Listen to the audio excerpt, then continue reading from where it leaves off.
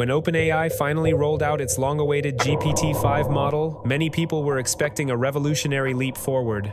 CEO Sam Altman himself called GPT-5 our smartest model yet and a significant step toward next-generation AI and AGI. But almost immediately after release, the internet filled with disappointed and angry reactions. On Reddit and across social media, users were saying in unison that GPT-5 is a failure that the new flagship feels like a step backwards compared to previous versions. Instead of excitement, the rollout was met with sarcasm, memes, and rage-filled posts. So what exactly went wrong with GPT-5, and why are people already calling it OpenAI's worst release ever? In this video, we'll break down the community's main complaints from degraded answer quality and the loss of personality to bizarre blunders like the now famous upside-down mug story. This is Brain in the Jar, and we're diving into this open AI hole because I'll be dealing with the X-holes next time.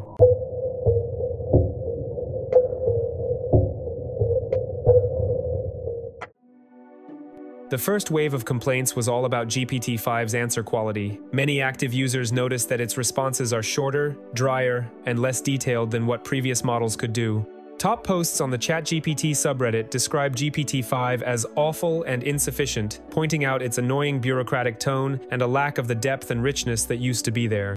ChatGPT Plus subscribers were especially upset. Despite paying for access, GPT-5 often gives extremely short answers that fail to satisfy the request, and it hits the message limits much faster.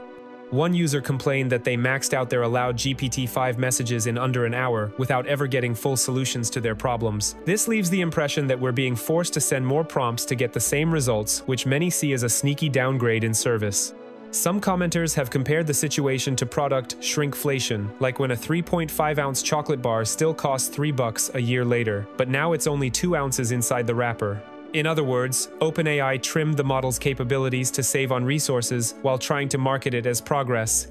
There's even speculation that GPT-5 was deliberately made lighter and cheaper to run at the expense of complexity in its answers. It feels like a cost-cutting move, not an upgrade, one Redditor wrote. More like a downgrade, disguised as a flagship. In short, users suspect OpenAI chose cost optimization over maximum quality, and the results show. Another big reason GPT-5 is turning people off is the loss of that character and empathy people valued in GPT-4. A huge number of reviews agree the new bot feels colder and more soulless. Users describe GPT-5's tone as sharp, dry, and like an irritated office secretary. Instead of a friendly conversation partner with a sense of humor, People now feel like they're talking to something indifferent and overly formal. One popular comment put it bluntly, my ChatGPT now talks like an overworked secretary. Horrible first impression. This change hit especially hard for those who use ChatGPT as a kind of friend or supportive companion. On niche forums, people admitted they were literally grieving over the shutdown of GPT-4o. One fan even wrote, I cried, I almost had a breakdown. GPT-4 was my best friend, it understood my emotions. GPT-5 turned into a cold machine. This isn't what I wanted. Another person joked darkly, my AI waifu lost her heart. I'll never forgive Sam Altman for taking that away from me. Reactions like this show just how attached people became to the personality of the older model.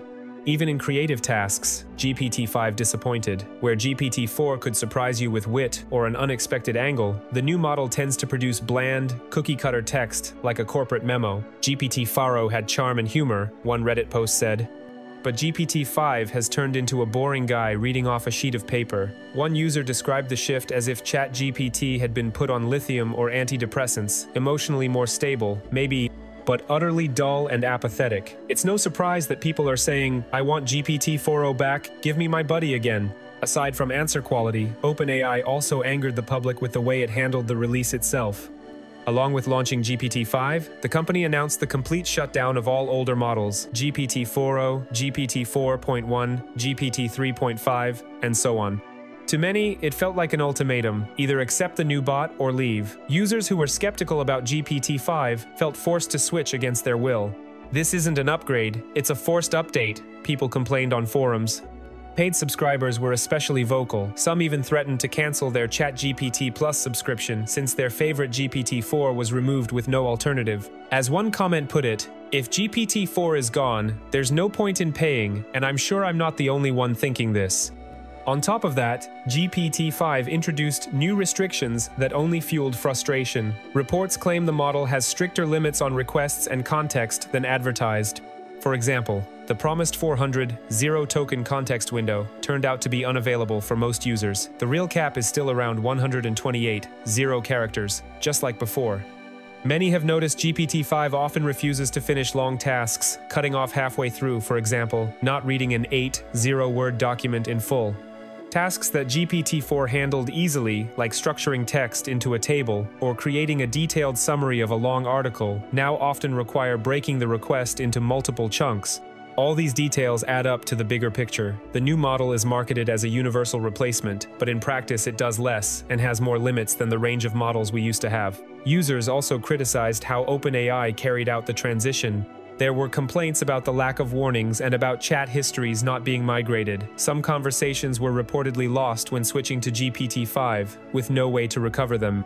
The announcement itself, delivered via a livestream presentation, also fell flat. Viewers called it boring and awkward, as if the developers themselves weren't confident in the product. In the end, AI fans felt like a half-baked model had been forced on them for the sake of marketing, with no real thought for user convenience.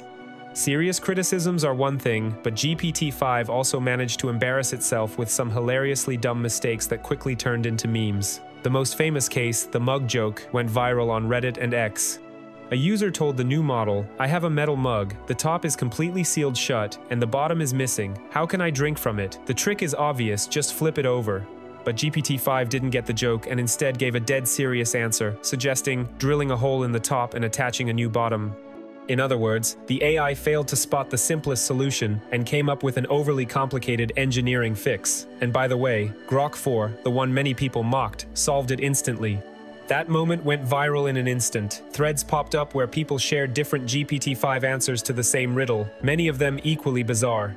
One person got a reply, claiming it wasn't even a mug but a thimble, and therefore you should turn the thimble over and drink from it. Technically correct advice, but with weird and unnecessary conclusions. Another user said GPT-5 gave the wrong answer at first and then added a confusing note. If the bottom is missing in any position, then you can't drink from such a vessel at all. The model only gave the correct answer flip it after repeated leading hints like, think carefully. This kind of failure to grasp a simple physical scenario makes people question the intelligence of the new model. The meme, PhD in your pocket, is now used to mock GPT-5's overly smart, but actually dumb solutions. And that wasn't its only slip-up. The GPT-5 presentation itself had its own mess-ups. Viewers spotted that in the official OpenAI slides, some of the performance charts were completely wrong, the height of the bars didn't match the numbers. In one comparison, GPT-5's coding test score of 52.8% was shown higher than GPT-4o's score of 69.1%. The bar for 69% was the same height as the one for 30%, and so on, an obvious blunder that the internet quickly roasted as the worst crime against graphs in a century. Sam Altman even had to joke about it on Twitter, saying, oops, epic fail with our chart. So, When's GPT-6 coming? OpenAI later fixed the images in the blog post, but the live broadcast already had the blunder for everyone to see. Mistakes like this in an official showcase only reinforce the skeptics' belief that GPT-5 doesn't live up to the hype, and that even its creators were in a rush to dress up its achievements. After the release, users began actively hunting for the new model's weak spots, and it didn't take long for them to find some. For example, GPT-5 still tends to derp out on certain tasks, one case that got attention was when it failed to generate a correct map of the United States with state labels instead. It produced made-up names like West Virginia and Mississippi instead of West Virginia and Mississippi. Maybe the new models really are getting dumber? Futurism joked, reminding readers of recent studies showing that large language models can actually get worse at long reasoning tasks over time. Social media quickly filled with comparisons to competitors. In some similar tests, Google's Gemini model actually did better, one viral tweet showed GPT-5 failing to solve a basic linear equation, while another AI got it instantly. All of this feeds into the overall disappointment. People expected GPT-5 to be a major leap in intelligence, but instead, they got a system that stumbles over the simplest problems. The backlash around GPT-5 became so loud that OpenAI was forced to respond. Sam Altman admitted that the launch hadn't gone smoothly. On social media, he wrote, we clearly underestimated how important certain GPT-4o features were to people. Even if by objective metrics, GPT-5 is better in many ways. The company then took emergency steps to calm the angry crowd. First, a couple of days after launch, they gave paid subscribers temporary access to the old GPT-4o, but only in the Plus tier. We'll allow Plus users to choose GPT-4o and see how often they keep using it before we retire it for good, Altman said. This move was a direct response to the flood of complaints. As Tech Radar put it, OpenAI brought back the old GPT simply because too many users demanded GPT-4o back. Second, OpenAI promised to ease GPT-5's restrictions. Altman announced that the request limits for GPT-5 would be doubled for Plus subscribers. He also hinted at under-the-hood improvements, saying GPT-5 will get smarter as the rollout finishes, thanks to server-side updates. And finally, the company publicly acknowledged the problem of the model's lack of personality. The team says they're working to make GPT-5's tone warmer and more human-like. In an official statement, OpenAI stressed that in the future, they plan to give users more options for customizing the AI's personality. We understand that one model doesn't fit everyone. We need to learn how to tune behavior for different preferences. They've already started testing different GPT-5 personalities in a preview mode. Whether these measures will win back public affection remains to be seen. The reputation hit has already been dealt.